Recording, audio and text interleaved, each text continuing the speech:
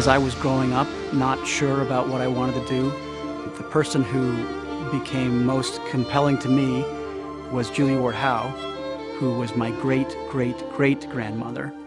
And she was also the author of the Battle Hymn of the Republic.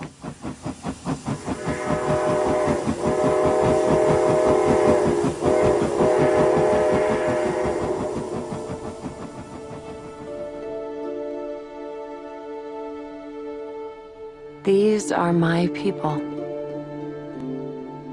Gentle folks. My great, great, great grandmother was well known for her writing, for her social justice activism at the time of the Civil War, and was a strong uh, opponent of slavery. A golden web of love around us binds us to our home above. Those words spoke to me as a writer, as an artist, and as an activist.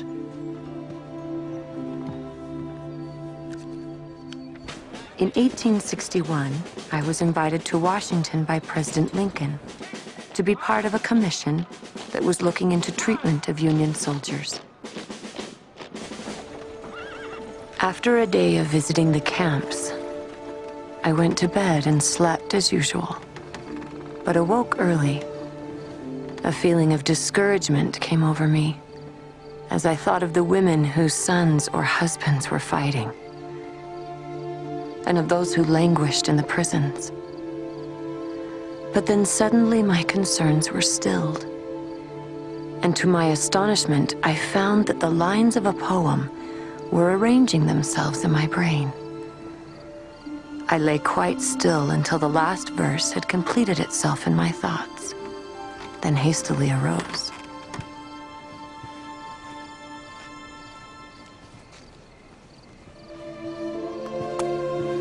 I searched for an old stubble of pencil and began to scrawl the lines, almost without thinking.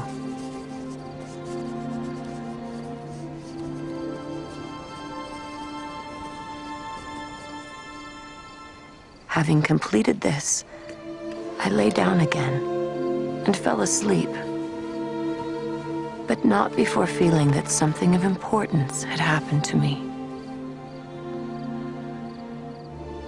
In the beauty of the lilies, Christ was born across the sea, with a glory in his bosom that transfigures you and me.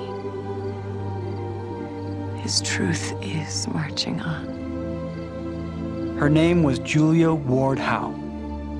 When President Lincoln first heard her poem sung, he wept. One of the heroes of mine is Martin Luther King Jr., and when I was a kid, I used to listen to his recordings that my parents actually had.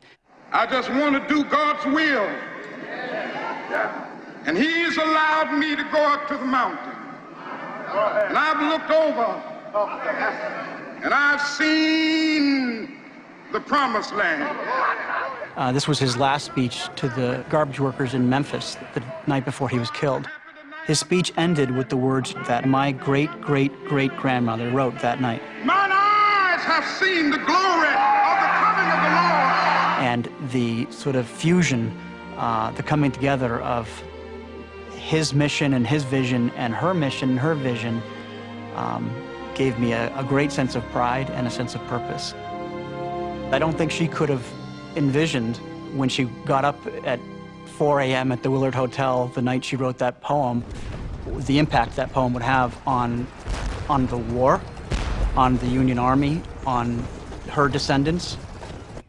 In my work as a writer, I think I feel the same strength she felt in pursuing her work.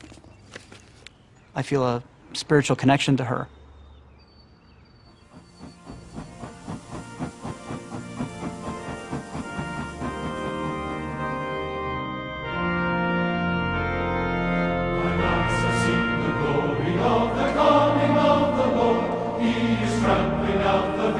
Where the grapes of wrath